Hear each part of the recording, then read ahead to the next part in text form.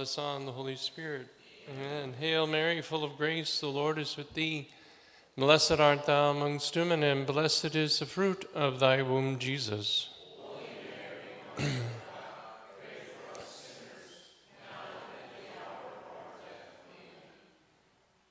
Our Lady Co-Redemptrix, Saint Joseph, our patron saints and guardian angels. In the name of the Father, and of the Son, and the Holy Spirit. Amen. well, I guess I'm going to give you an opportunity to exercise your faith with works today. Because someone put this on my, my windshield when I was at Father Tito's to say Mass for the sisters this morning. And so maybe it's providential. I need to make you aware of this so that you can exercise your faith in the public sector for the good of especially the unborn, because this is from the Connecticut Catholic Public Affairs Conference. The Connecticut Department of Public Health is proposing dramatic revisions to existing abortion regulations in Connecticut. And they are asking all Catholics to help stop these changes because the open comment period ends September 20th. I guess you have till September 20th to voice your opposition or to express your, your disapproval. The proposed changes to the abortion regulations would remove sections that, number one, protects a medical provider's right not to participate in an abortion based on religious beliefs. So, right there, they're wanting to deny you your your conscience, conscientious objection. Number two, require a medical care for a baby that survived an attempted abortion. And that they want to remove that. They don't want you a medical care provided for a baby that survives an abortion.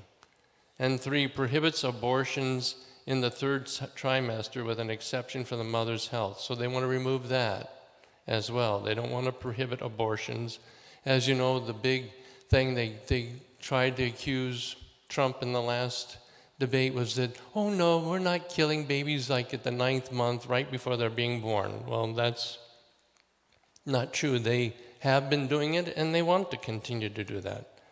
It says, without any direction from the legislature, the Department of Public Health is planning on removing is planning on to remove these reasonable provisions that have existed in Connecticut for over 50 years.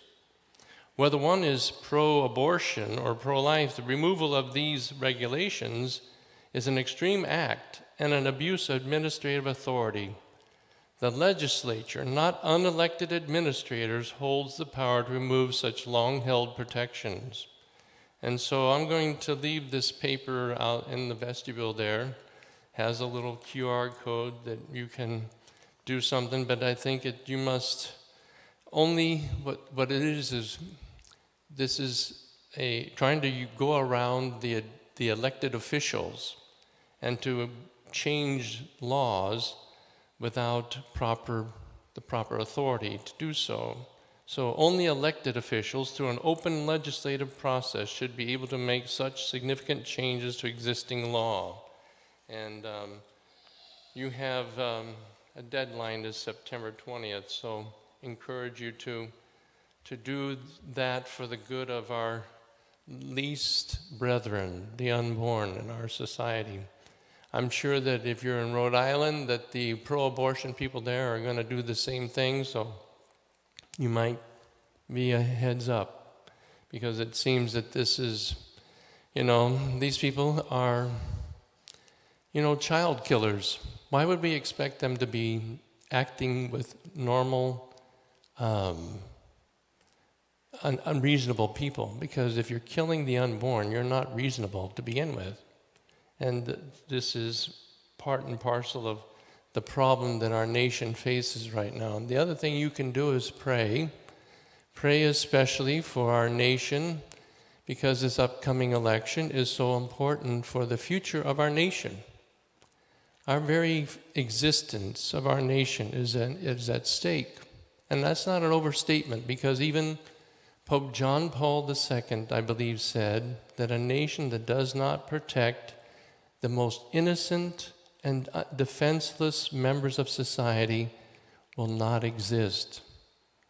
And we haven't been protecting the most innocent ones for a long time. Even though we've overturned Roe v. Wade, we know that there's this deep seated abortion mentality that has been sown in our country because we've allowed this sin to exist. And the only way that that can be changed, that the only way that it can be undone is through a miracle of grace. And I believe that the miracle of grace is being offered out to us if we'll only do what Our Lady is telling us to do. And that was already told in 1956. In September 25th, 1956, Our Lady and the, Our Lady of America spoke to Sister Mary Ephrem. She identified herself with America because our nation was instrumental in the proclamation of the dogma of the Immaculate Conception. Many Catholics do not realize that the United States that our country had a role to play in the proclamation of the dogma. How? Because the bishops of the United States in 1846 petitioned Pius IX, who was then Pope, to make Our Lady the Immaculate Conception the patroness of our country. And that was one of the things that motivated Pius IX to call this synod of bishops back in December of 1854 and to determine whether or not it was a dogma of our faith. And of course, we know history that he came to that conclusion that yes, the Immaculate Conception is a dogma of the faith. And to, sh- to show his gratitude for the American bishops Pius IX asked one of the American bishops to hold the proclamation while he read it. That bishop who held that proclamation was none other than the future St. John Neumann of Philadelphia, who held the proclamation while the Pope read it, proclaiming the Immaculate Conception. And Our Lady appeared to Sister Mary Ephrem in 1956 because at that time the shrine of the the National Basilica of the Immaculate Conception was under construction, and they had just finished pretty much the crypt. And she said that because of, of the role that the United States played in the proclamation of her dogma, that, which is so dear to Our Lady because it's the first grace that she received, and how she identifies herself to Bernadette at Lourdes, I am the Immaculate Conception. She said, I am Our Lady of America. You are, in a special way, dear to my heart because the role that you played in the proclamation of that dogma. And she said, If you will take my image, which she showed her an image of Our Lady of America, if you, if the bishops, as representative of your country, will take me in solemn procession and place me in the basilica when it's finally completed, permanently so that people can come and make pilgrimage to me because I am Our Lady of America. She said, I will work miracles greater than Lourdes and Fatima combined. Now think of that. Miracles greater than Lourdes and Fatima combined. And she said, they're not going to be miracles of the body, but miracles of the soul and that she wanted to make United States a missionary of purity around the world. And when a bishop heard that, he said, definitely that has to be a supernatural message because the last person you would think would become a missionary of purity is the United States. It'd be like Saul becoming St. Paul. Because our nation has done so much because of the Hollywood mentality, a decadence, that it has pretty much fostered the whole cult of impurity.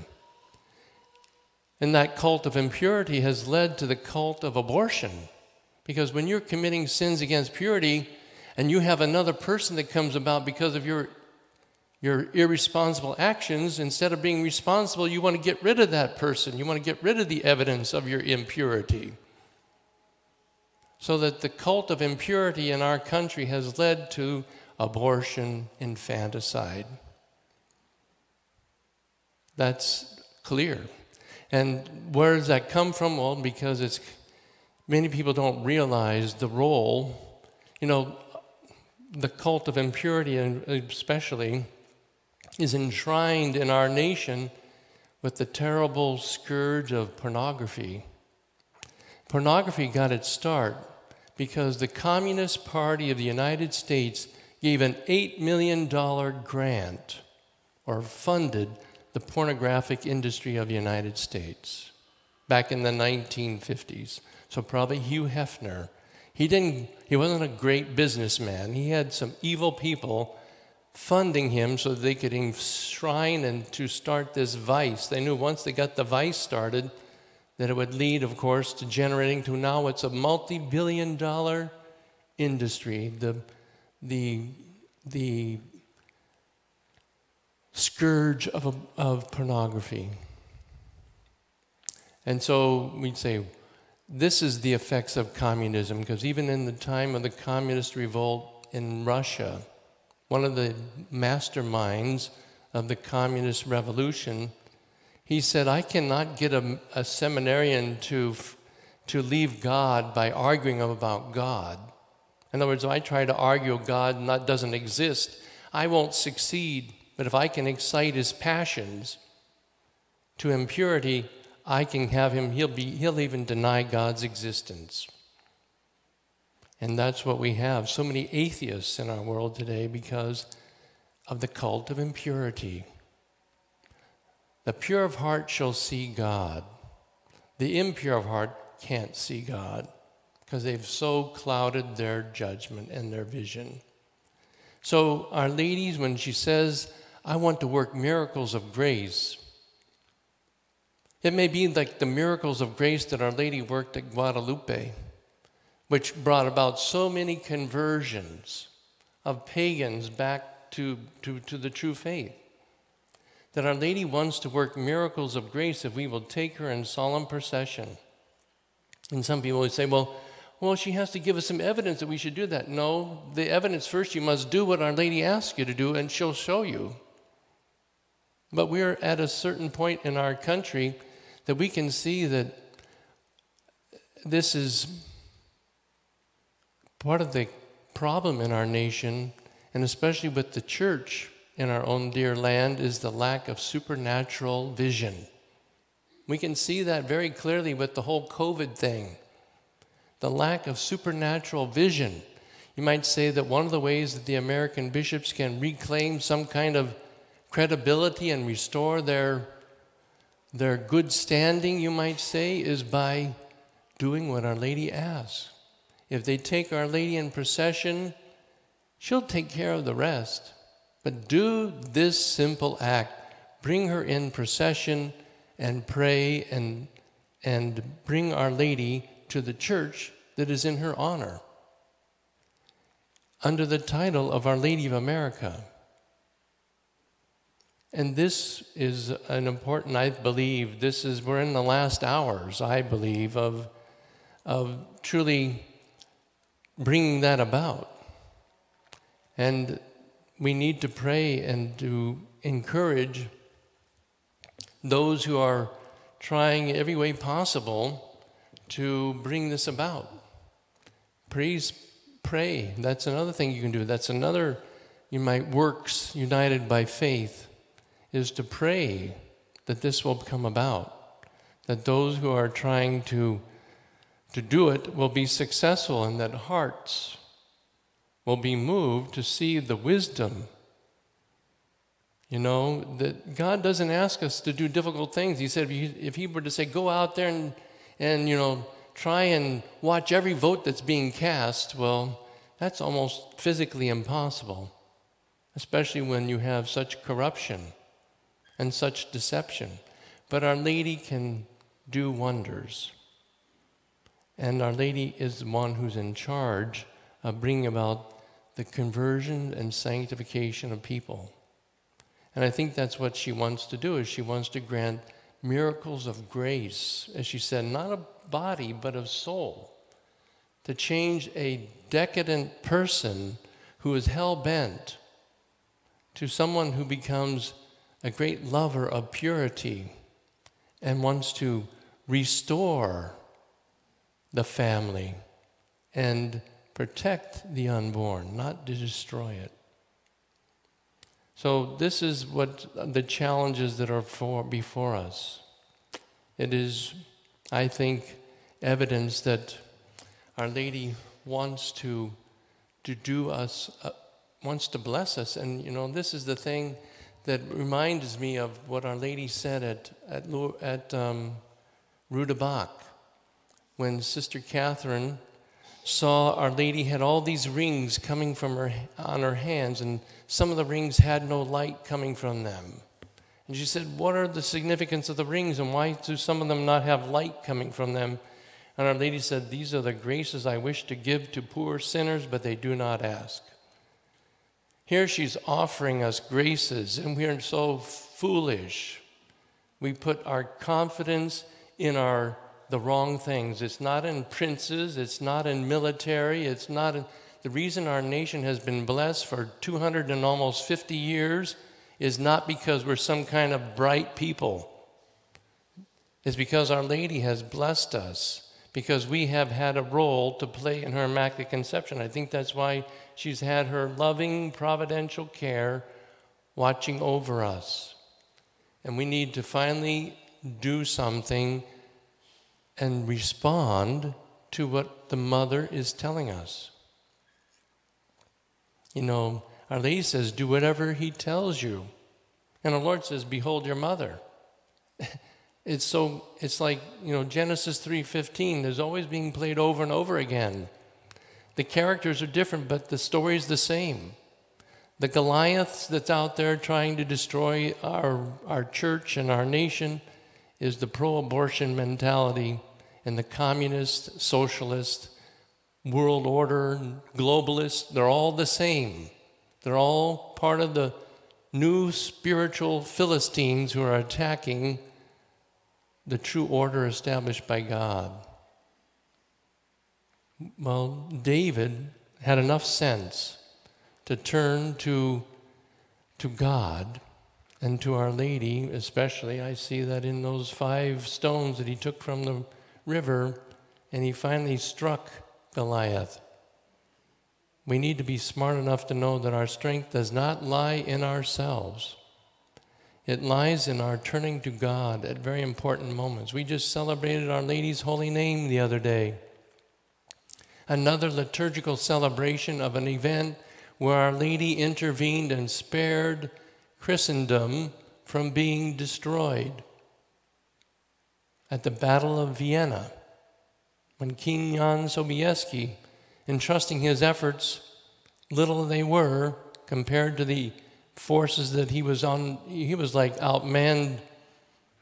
He was like 250,000 Turks to 40,000 Polish cavalry. And yet he said afterwards, We came, we saw, and God conquered. Well, this is the thing that we want to pray about. This is another event because as, when I was in Australia, many people came up and said, Father, we're concerned about your elections this fall because what happens in America is not just going to affect America, it's going to affect the whole Western world. Because really, United States still is a bastion of freedom that inalienable rights that are recognized that come from God and not from man. It's one of the last places that we still are blessed. And we are abusing those rights since Roe versus Wade, because the first of those inalienable rights is the right to life life, liberty, and the pursuit of happiness. We need to pray and we need to especially encourage that this, at these last moments, that we do what Our Lady's asking. It's not, we're doing her a favor, but she's doing us a favor, much bigger favor than we could possibly ever do. And this is many times God does things like this. You do your generosity, you can never outdo God in generosity.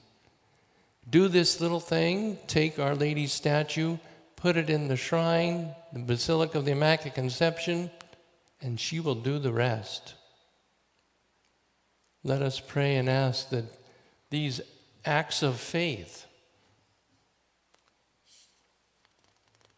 always are so powerful because God works miracles through obedience.